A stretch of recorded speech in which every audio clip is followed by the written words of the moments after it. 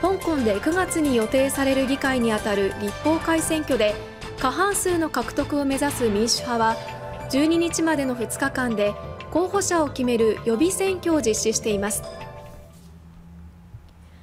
予備選は民主派の学者や団体が主催したもので立法会選挙で複数の民主派候補が同じ選挙区から出馬して共倒れすることを避けるのが目的です。香港各地でおよそ250の投票所が設けられ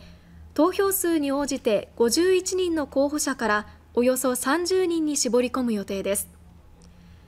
民主活動家の江志宝さんらも候補者に名を連ねています。国家安全維持法の施行で政府に批判的であれば立候補資格が取り消される可能性も指摘されている中民主派は予備選で多くの市民の支持を集めることで政府を牽制する考えです。